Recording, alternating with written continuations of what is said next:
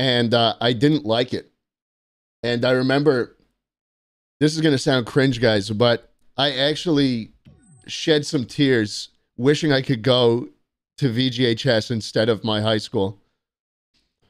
I was like, man, why can't, man, why can't I, I be at a cool high school instead of this lame one? I didn't know anybody. Yeah, it was rough. It was rough. Don't laugh at me, please.